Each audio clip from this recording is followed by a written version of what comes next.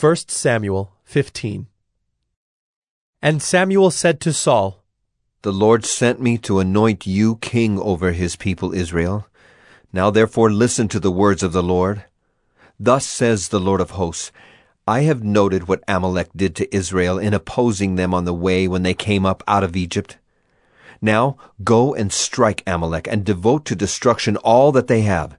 Do not spare them but killed both man and woman, child and infant, ox and sheep, camel and donkey. So Saul summoned the people and numbered them in Telaim, two hundred thousand men on foot, and ten thousand men of Judah. And Saul came to the city of Amalek, and lay in wait in the valley. Then Saul said to the Kenites, Go, depart, go down from among the Amalekites, lest I destroy you with them. For you showed kindness to all the people of Israel when they came up out of Egypt. So the Kenites departed from among the Amalekites. And Saul defeated the Amalekites from Havilah as far as Shur, which is east of Egypt. And he took Agag, the king of the Amalekites, alive, and devoted to destruction all the people with the edge of the sword. But Saul and the people spared Agag and the best of the sheep, and of the oxen, and of the fattened calves and the lambs, and all that was good, and would not utterly destroy them. All that was despised and worthless they devoted to destruction. The word of the Lord came to Samuel. I regret that I have made Saul king, for he has turned back from following me and has not performed my commandments. And Samuel was angry, and he cried to the Lord all night. And Samuel rose early to meet Saul in the morning. And it was told Samuel, Saul came to Carmel, and behold, he set up a monument for himself, and turned and passed on, and went down to Gilgal. And Samuel came to Saul, and Saul said to him, Blessed be you to the Lord. I have performed the commandment of the Lord. And Samuel said, What then is this bleating of the sheep in my ears, and the lowing of the oxen that I hear?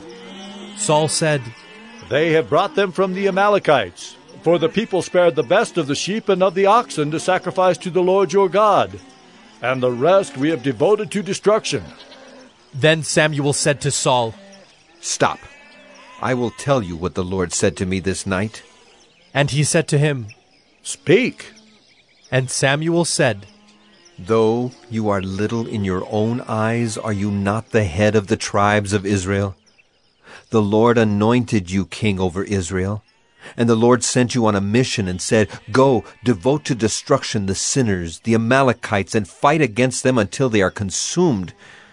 Why then did you not obey the voice of the Lord? Why did you pounce on the spoil and do what was evil in the sight of the Lord? And Saul said to Samuel, I have obeyed the voice of the Lord. I have gone on the mission on which the Lord sent me. I have brought Agag, the king of Amalek, and I have devoted the Amalekites to destruction. But the people took of the spoil sheep and oxen, the best of the things devoted to destruction, to sacrifice to the Lord your God in Gilgal. And Samuel said, Has the Lord as great delight in burnt offerings and sacrifices as in obeying the voice of the Lord? Behold, to obey is better than sacrifice and to listen than the fat of rams. For rebellion is as the sin of divination, and presumption is as iniquity and idolatry. Because you have rejected the word of the Lord, he has also rejected you from being king.